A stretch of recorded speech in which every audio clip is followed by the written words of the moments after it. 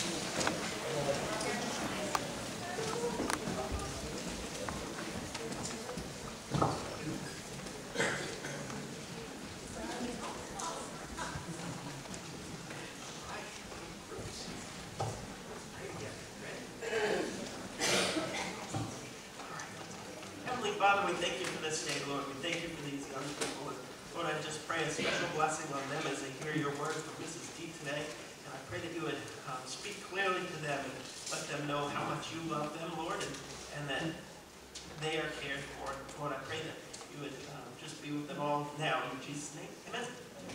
Amen. Well, we've heard a few shots fired yesterday. Did anybody have success? The deer did. Okay. So how long does hunting season go for deer legally? Four weeks? Okay. I'm sorry? Muzzle loading. Okay.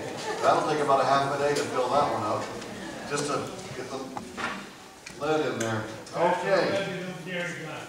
What? I'm glad the deer don't carry guns. I was too the other night.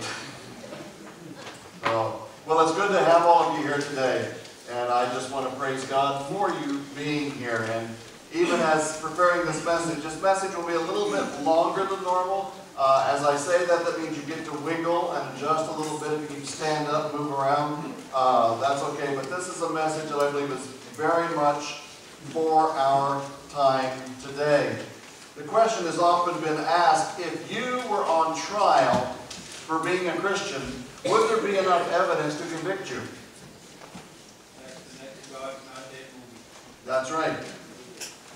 Well, it's just amazing how this all ties together, isn't it? That's from the Gods. It's actually before that, but it's a good one from the God's Not Dead movie. Well, that's what we're going to find today in chapter 3 in the book of Daniel. Now, as you read through chapter 3, and I know because on the Family Connection, I send out what the next passage is going to be. I know that all of you read chapter 3 diligently all week long, right? Don't tell me. So, as you go through chapter 3 here, you're going to say, Where's Daniel? I, I don't see Daniel in here anywhere. Why isn't he with his three friends? There's actually some scholars out there that suggest that Daniel may have been compromising because he was in the palace uh, and he probably had let down his guard and stuff like that. I don't buy that for a minute. Okay, there's no place in God's Word that even alludes to something like that. The reality is, Daniel was in the palace, and he was doing the business about the palace, and he wasn't with everybody else. Okay, his three friends were with the other uh, wise leaders and, and all those people there, but Daniel probably wasn't. Okay, and you just have to go back to chapter two. Remember context. Context, context, context. That's the three rules of interpretation of Scripture. Okay, in the context, going back to chapter 2, that's where he was, in the palace. So, you know, how many of you actually read newspapers? I thought so. A few of you do, yes, okay, that's good. Online newspaper, and, and I do online newspapers. Uh, basically because if I don't, we have a stack building up that I get behind on. So I usually take a half an hour every day to go through online newspapers. Uh, be careful, some of those online sites are really strange. Uh, don't believe everything you read just because it's on the internet. We, some of you remember that commercial from Geico. Anyway, uh, it's because the internet doesn't make it true. But a lot of the online newspapers, if they're like a Washington Post or New York Times or Bangor Daily News, uh, you know, you'll find a lot of stuff in there, and a lot of it is just horrendous, isn't it? It's, it's just very negative. We're reading and seeing and hearing about people who are being found guilty and imprisoned because they have chosen to live their lives in obedience to Jesus and His Word. Just this past week, I was reading an article and it was in various news sources, so the accuracy of it is probably pretty true, where a Muslim was uh, given a huge financial award by a jury or a judge because he was wrongfully terminated from his job. Now, he was terminated from his job because he did not want to deliver beer to a business, because that goes against his Islamic beliefs. Okay? So the judge basically said that you can't force someone to do something that's against their beliefs. You fired him inappropriately, therefore we're going to give him this money. Hmm. It's not equal, is it? Bakers, photographers, pastors, multiple others, because they've chosen to live in obedience to Jesus Christ, they are being sued and or imprisoned. Okay, and you know I'm not making this stuff up, right? I can't be that creative. You know, my friends, there's nothing new today compared to what we see in chapter 3. You and I must keep on living as children of light. And, and, even as you look at chapter 3, amongst all of the false gods that were being followed, none of those were being imprisoned because they were going along with the system, with the culture, with the society. It's only those who were following God and who refused to compromise against God.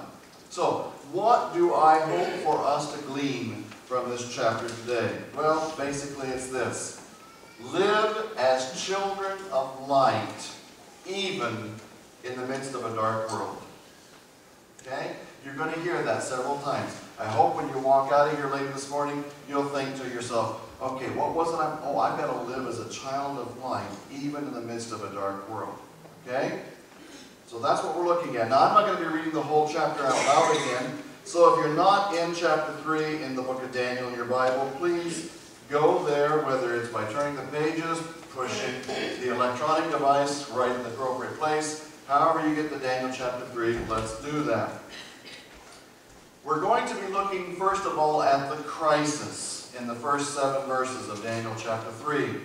Now, between chapters 2 and 3, uh, we don't know how many years have passed. The majority of scholars suggest probably about 20 years have gone by since that vision that Nebuchadnezzar had earlier where he saw this statue with the various uh, metals, precious metals and not so precious uh, objects in it, and as the stone from heaven came down, crushed it and all that, and built up into a mountain. So, as we recall here, going back last week, Nebuchadnezzar did have an idea as to who God truly was. But we're going to see today that just because he knew certain information did not make him a different person. Just because a person knows the Bible, knows the story about salvation, does not mean they're saved. Okay? We see that with Nebuchadnezzar as well. Sadly, in these verses here, we see that the king had ordered that an image of gold be raised up in his honor. Now, as you look at this, and as you look at your Bibles, you're going, you're saying, "Wow, wait, 90 feet tall." Now, our windmill on the farm was 33 feet tall. That was tall enough for me. You know, that's scary. But 90 feet tall, out on a plain so everybody can see it. From far, far away, you're going to see this gold image that has been raised up. Sadly, Nebuchadnezzar is trying to raise up something in his own honor to this ridiculous height.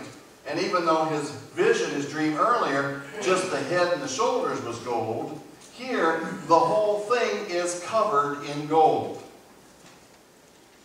How many starving people could that have fed? And as you look at the scene here in these seven verses, it almost seems like a test of loyalty among the leadership towards the king. As we read the words that the herald is proclaiming, excuse me, proclaiming, it seems very obvious that this is a major event. Uh, musically, talk about a noisy event. Uh, there, there are all kinds of instruments noted there, and if that's not enough, Daniel uses the phrase, all kinds of music. So there was a full-fledged orchestra, if you will, that was there for this. Now, it's important to understand that the word here for worship refers to worshiping deity. Okay? So whether the image was in Nebuchadnezzar's likeness or whether it was in the likeness of one of Nebuchadnezzar's favorite gods, the whole thing is worshiping deity. It's not just bowing down, it's worshiping deity. Well, that's obviously going to separate those who were tolerant from those who were committed to wholeheartedly worshiping Jehovah God. And it's such a public event that everybody's going to see who is and who is not supportive of the king's edict. The herald makes it known that it's an act of worship. And since it's bowing down before a golden image, it means worshiping something or someone other than the one true God. Further, in case you just didn't get it, the herald states here, whoever does not, does not fall down and worship, will immediately be cast into the midst of a furnace of blazing fire. And it was for everyone, because it says every language. Everyone there. Now, what was this fire? It's very possible it was the same type of fire, a huge uh, device that was used to melt down all this gold so it could be put on the wood, stuff like that. Scholars suggest that the, the heat needed for that type of thing would be about 1800 degrees.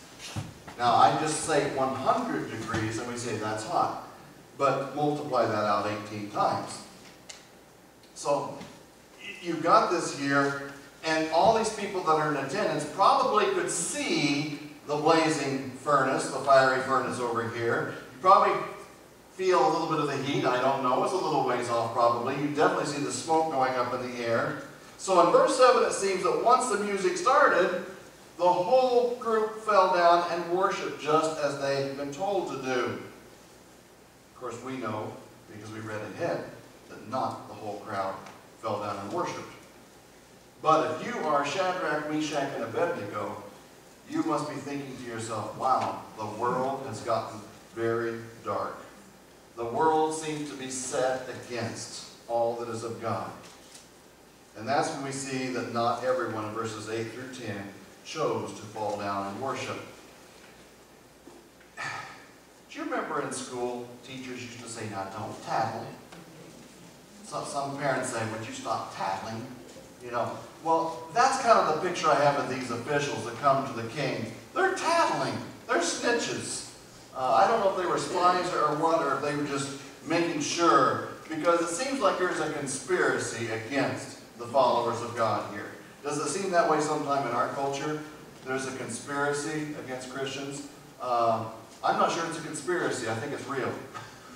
it's, it's very blatant and obvious. Well, they wanted to get rid of those who worship God only. Now, you're thinking to yourself, why did they go talk to the king? Well, the king probably is off someplace else else up close to that area, and he's not going to be able to identify who is or who is not worshiping him. He just sees this vast crowd on their faces, as it were, worshiping. These guys, probably from a human perspective, they were very jealous. I don't know, because the reality is they got these Jews who are in charge of them in their own country. How wrong is that, they might think. What we're, we captured them and yet they're telling us what to do. And they were not in those positions that they wanted to be. So, these, the word here is they brought charges against, the NIV says denounced. I, I love the phrase. I'm thinking, okay, denounced, brought charges against, what exactly was it? And, the word literally means ate the pieces of. It's a very hostile word. And I'm thinking, okay, in English, what would that be like? Have you ever been chewed out? Okay? Multiply the intensity of that a bunch of times. Uh, I've, I've heard the phrase, chewed out and spit out. You know, that, that's the picture. These guys did this against uh, these three Hebrews. Now, these individuals went through the normal greeting process. You know, you look at this and say, wow, they're really buttering Nebuchadnezzar up. Well, yeah, they were, but this was part of the normal procedure. Then they laid the background for why they were bringing the charges. And they go on with their accusatory reports. Basically, they didn't bow. You told them to bow. They didn't do it.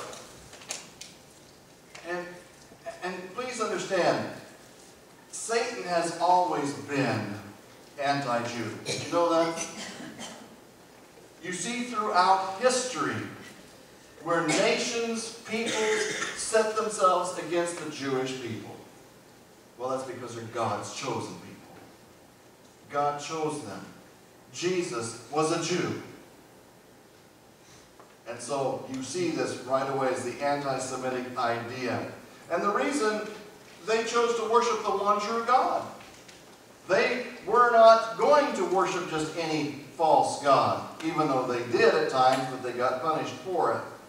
So that makes them completely different from everybody else. Did you catch that? Completely different from everybody else. Wow, that sounds familiar, doesn't it? The Bible says we're to be strangers and aliens in this world. We're to be completely different from everybody else. You know, the anti-Jewish sentiment continues. It raises its ugly head time and time again. And it doesn't just stop there. Now, the antagonism and hatred is directed at all who would follow Jesus. And even though the Christian lives in this world, we work in this world, and we try to be a blessing to all those around us, if it is obvious that a person is a true follower of Jesus Christ, and if a follower of Jesus Christ refuses to worship at the idol of humanism or tolerance or political correctness, there becomes a public denouncement and an overt attempt to silence or rid the world of the true follower of Jesus Christ. Now, folks, I'm not complaining. Please don't, please don't think, well, the pastor's up there ranting and raving politically. No, he's not. He's helping us to understand. I want to help you to understand this is what's happening. Be prepared for it. The Bible warns us about it, but not to stick our heads in the sand, but to keep on living for Jesus as children of light, even in the midst of a dark world. Amen. We don't have to fear this stuff. Just recognize it. Understand it. Don't deny it. Don't say, oh, you just think that's... No, it's not just what I think. This is what is happening. Read the papers. Listen to the news. Read the Bible. It's there for us. It's all part of Satan's plan. Jesus warned us. At this point, the three men are named specifically. Fred, George, and Barney. Okay, got that? And their crime is listed. First of all, they have disregarded the king. In other words, they don't think he's special. They're not willing to do whatever he wants them to do. Secondly, they don't serve the king's gods. I mean, King Nebuchadnezzar, if they're good enough for you and you think they're great, they should be worshiping your gods, right? Thirdly, they refused to worship the golden image. Now, why do you suppose Shadrach, Meshach, and Abednego did this? Because they understood that they needed to live as children of light, even in the midst of a dark world. Now, you recall, the penalty for refusing to worship the golden image was death in a fiery furnace. Well, let's go on and see verses 13 through 18 what happens. Now, I, I know I've got a really warped sense of humor, and I like the old Looney Tune cartoons, okay? And, and as, I, as I look at this uh, verse 13 here, I, I have Yosemite Sam pictured as King Nebuchadnezzar. And you know, when Yosemite Sam just got all bent out of shape and hot and angry and bothered, smoke comes out of his ears, his hat flies off his head, he goes, you know, a bunch of other stuff, which I can't say publicly because I don't understand what he said. But that's the kind of the picture. He was so infuriated. One translation says he was furious with rage. So he gave orders for them to be brought before him. So the king asked the three of them if that report which he had just received could actually be true. Now, Nebuchadnezzar must have liked these guys. Because in verse 15, we see that he already went back on what he said earlier. Remember earlier, he said, whoever doesn't immediately gets thrown into the furnace. Well, what's he doing here? He's giving them another chance to do what he told them to do. Why? So, Nebuchadnezzar says, guys, listen, I'm going to have the orchestra play again. Okay? They've rehearsed already. They know what they're doing. Now they're going to play again. When you hear them play, just fall down and worship. You do that, we'll be good. We'll be, we'll be just nice and close once again. But if you don't, punishment is going to be immediate. In fact, Nebuchadnezzar does what nobody should ever do. He taunts God. He says, not even your God could rescue you from me. Oh, did you know what he just did? He placed himself above God. He acted like God couldn't overpower him. Now, Christian, do you understand that this is happening today? We're being told that if we'll simply promote and condone evil, everything will be just fine. Now, folks, they don't say, we want you to promote and condone evil. You know, that would be obvious. Well, of course not. Okay? But what they do want you to do is to compromise God's Word. They want you to compromise your lives and say, it's okay. It's okay to do this and this and this. And, you know, we appreciate the fact that you believe in Jesus, but we feel like you're a little narrow, you're a little limiting, and you ought to be more open to other options. After all, Islam teaches pretty much the same thing that your Bible teaches. am I being facetious enough? But it, do you understand what's being said? And we can go on and on, and I won't get into all the specifics, and you can figure that out without me going on and on. But we've seen time and time again this happening. If we don't do these things, there's going to be punishment. Oh, they won't do. Oh, yes, they do, folks. And when I use the word they, I'm talking about those who are opposed to the things of God. Period. They may not say they're opposed to the things of God. Did Satan, when he met with Jesus, he didn't say he was opposed to the things of God. He said, hey, you know, if you just do this, then I'll do this. We're good. You're hungry? Ah, there's a rock. Just talk to it, turn it to bread. We'll be good. Satan never said he was opposed to the things of God, but he is. He is. It might mean that we will end up going to jail, even though we would be following the law. Which one person stated, that's maybe not so bad, jail ministry.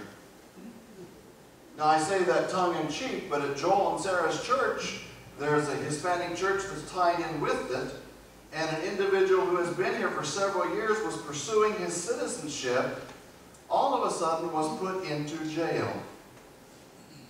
No reason. No reason, just put him in jail. And he was supposed to be meeting with people regarding his citizenship application process. You know, the interesting thing is, this person has communicated back with the church a couple times, and they're saying, keep praying for me, brothers. God is changing lives here. Going, whoa, this guy's put into jail for no reason that we know of, but he's using it as an opportunity to proclaim Jesus. He's living as a child of light, even in the midst of a dark world, isn't he? It might mean that we get labeled as bigots and as haters. We've been labeled that. We might be even accused of going against the Bible. Well, if your God is a loving God, and it says to judge not, which taking Scripture totally out of context, then you, how can you say this or do this or believe this? Folks, we don't have to defend the Bible. Just live as a child of light. It may even be involved, involved being imprisoned for simply reading passages from the Bible. There's a pastor in Ontario about five years ago that was put into jail because he dared to teach out of Romans chapters 1 and 2. Put in jail. Hate crime, they labeled it. Interesting. It may mean getting fired for praying with the football team, even though you're the coach. I hope you know that much from the news this past week. In Washington State, a coach, assistant coach, praying with his team after the game was warned, don't you do it or you'll be fired. He was fired. He was fired. Went to the game last week in the stands with the crowd. The people in the stands said, would you pray with us? I love it. I've heard of high schools where the valedictorian was told not to pray or not to mention the name of Jesus, not to talk about God. Her whole class sneezed at the same time, and everybody said, God bless you. now, you've gotta love that creativity, don't you? Now, that, that's a little silly, but where, where do we stop? You have to love the way these three followers of God responded. They didn't need the orchestra. They don't need to give an answer to the king. They responded firmly, O king, we will not bow down to this idol. They showed their faith and their living as children of light by trusting in God because they knew he was able to deliver them from this furnace of blazing fire. And they knew that Jehovah God was more powerful than the most powerful man on the face of the earth. And the reality was that even if this one true Jehovah God chose not to physically rescue them at this point in time, they weren't going to change their minds. Didn't matter what the odds were, God was in charge. Stephen Miller comments on this he says, although no doubt existed in the minds of Shadrach, Meshach, and Abednego about the ability of their God to deliver them, they humbly accepted the fact that God does not always choose to intervene miraculously in human circumstances, even on behalf of his servants. Even the early church father Jerome states, thereby they indicate that it will not be a matter of God's inability, but rather of his sovereign will if they do perish. Brothers and sisters, do you understand how this applies to our lives today? Because we wonder so often why God doesn't just show the reality of His power today. Why does this child have to be killed? Why does that have to happen? Why do all these things take place? And we ask ourselves that question. The reality is that God is able to rescue the Christian from problems and trials, but He does not always choose to do so. Romans 5 reminds us that God sometimes allows difficult times to come into the lives of His children to help us to become more conformed to the image of His Son, Jesus Christ. Jesus Himself said, Father, if it be your will, please take this cup from me. But nevertheless, not my will, but your will. Paul said this, this thorn in his flesh bothered him so tremendously that he prayed three times, Lord, remove this. And God said to him, My grace is sufficient for you. It never was taken away. The reality is we may not always understand why terrible things happen to us, even when we're living our lives for Jesus. But then I look at the book of Job. Book of Job, chapter 13, verse 15 says, Though he slays me, yet will I hope in him. One translation says, Though he slays me, yet will I trust him. Brothers and sisters, do we have that mentality? Matthew 10, 28, Jesus told his followers, Do not be afraid of those who kill the body but cannot kill the soul. Isn't that wonderful? Oh, that doesn't mean I'm going to say, hey, bring it on. I'm probably going to be shaking in my boots when it happens. But I know whom I have believed. And Jesus is my Savior. Now understand there are also those that would suggest that we're to obey the government at all times because of what Paul writes in Romans 13. However, throughout the entirety of the Bible, we are told to not blindly follow in obedience to the government when it runs into contradiction of God's ways. Acts chapter 5 verse 29, Acts chapter 4 verse 19 tells us clearly that if obeying the government causes us to disobey God, who do we choose? God. And if we disobey the government, be prepared for the consequences. Don't go whining around saying, well, that's not fair. You're, you're going against, I have a right. I'm a U.S. citizen. Well, yeah, we have rights as U.S. citizens. However, you and I as Christians do not have rights. We were bought with a price. We belong to Jesus Christ. And it's possible that we have to go through some of this junk so that we can proclaim Christ to someone else. These three men chose to follow God regardless of the cost. With boldness like that, with their track record of being upright men of integrity, they've been serving the king with all loyalty, you and I would say, well, surely Nebuchadnezzar would give them a pass, right? God's going to change Nebuchadnezzar's mind. That would, that's what we'd expect, right? That's how we pray many times. I'm not saying that's wrong. So let's see what happens. Well, they didn't earn any special favors, did they? Verses 19 through 23. In fact, verse 19 suggests that the king's anger and rage overflowed. His facial expression became completely harsh and he was boiling with anger. It's almost like his face was contorted with rage.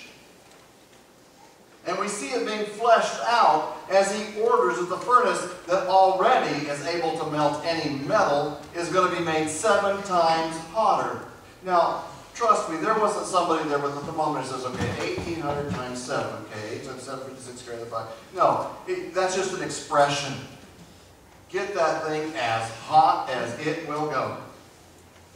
Make it nuclear. Okay? Nebuchadnezzar goes for the overkill now. These are three of his choice young servants. He asks for the best of the best of the best in the military to come and get these guys, tie them up. I mean, after all, they must have been jailbirds. It was overkill, totally. Tie them up, leave their clothing on, because I want this to be a blaze, because when the clothing catch fire, it will be blazing out. Body goes in there, ashes. You're not going to be seeing a lot of blazing going on. Okay? So, tie them up, make sure they can't get out. And the Bible says that they were thrown into the furnace with their clothes on. Now, why does the scripture state, because the king's command was urgent, when he talks about these prize soldiers being burned up at the entrance? It seems that the king's anger probably was so intense and so out of control that he never thought to have his best military officials protect themselves. Get here, do this. And so when they get there, they were killed.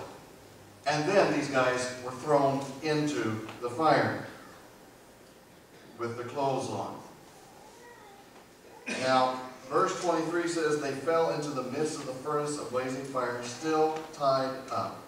Now, if you and I were a spectator watching this, we might be thinking to ourselves, wouldn't it have been better if these three guys would have just simply bowed down, got it over with? They knew in their hearts that they weren't going to, to really worship, but just go through the motions. God knows your heart. After all, if you stay alive, you can do a lot more for God later on, right?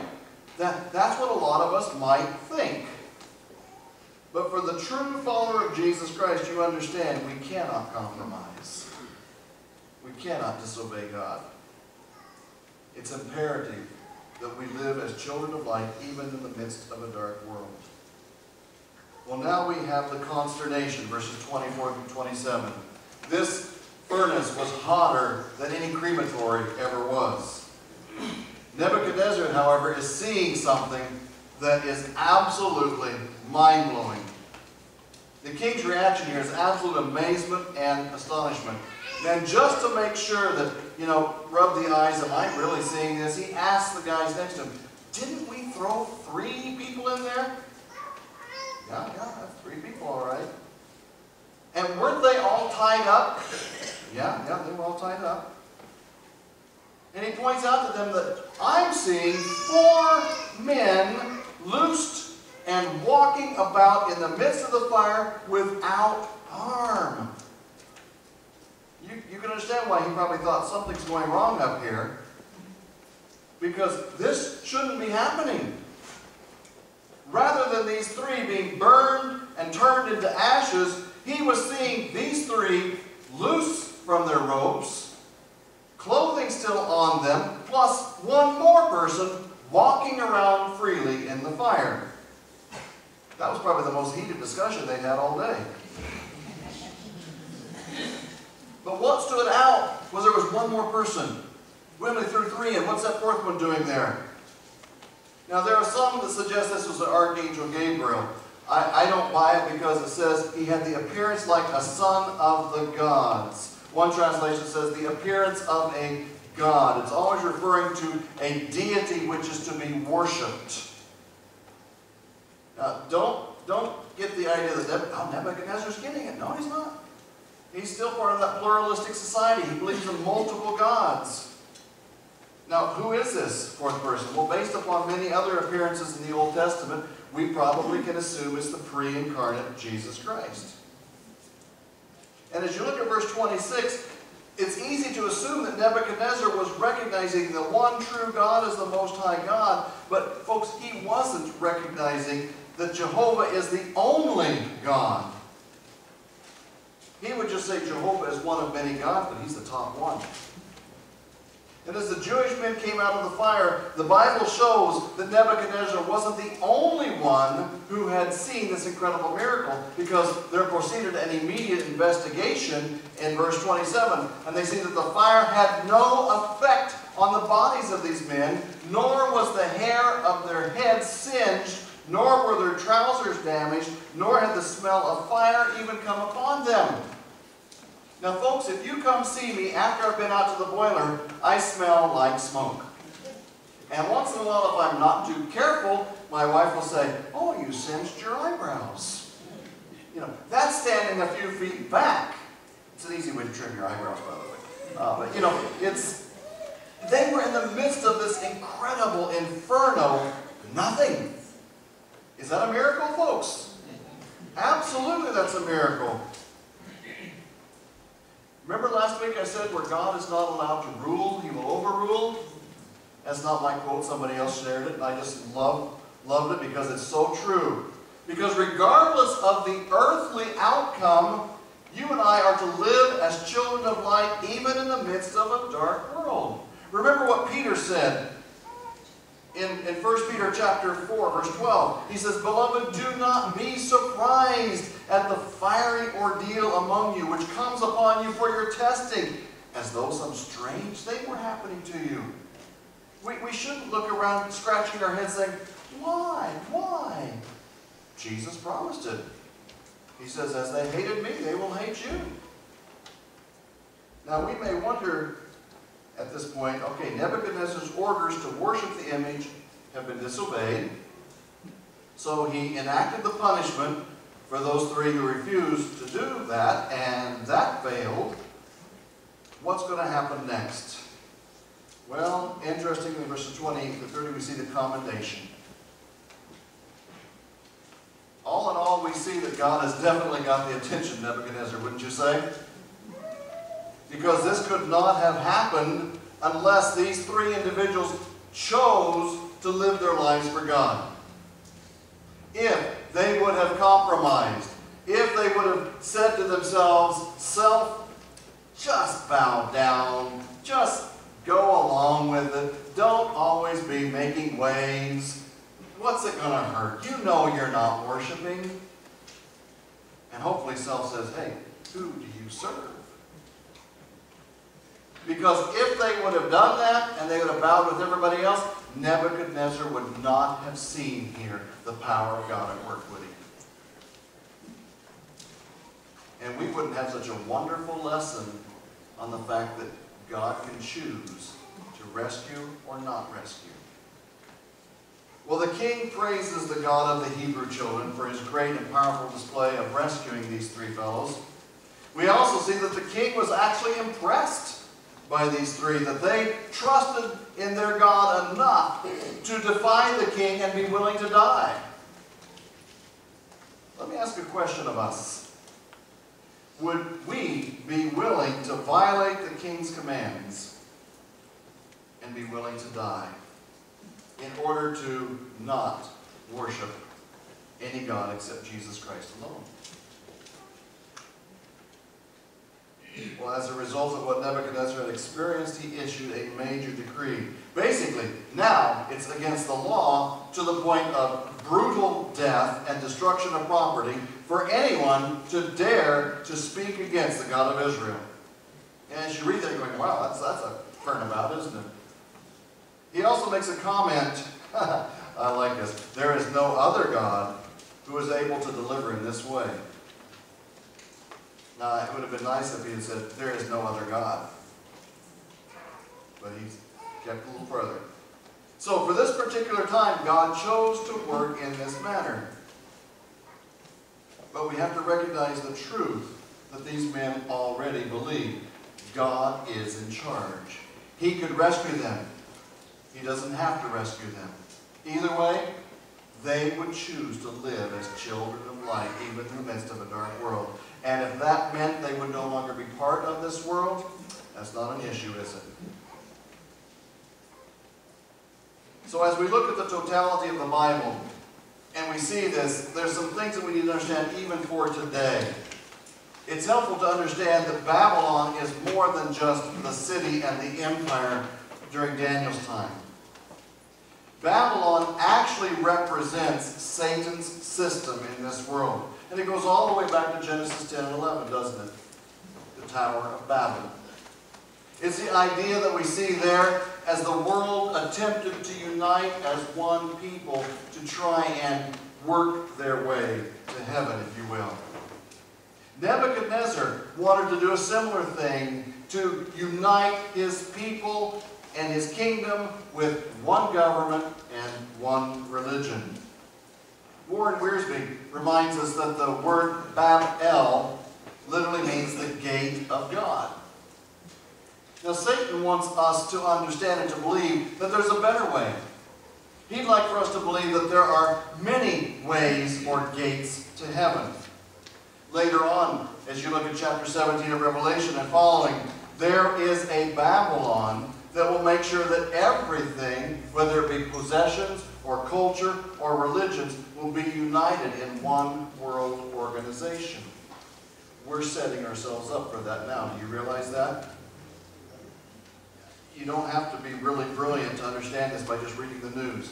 They're trying to set it up right now for that type of thing.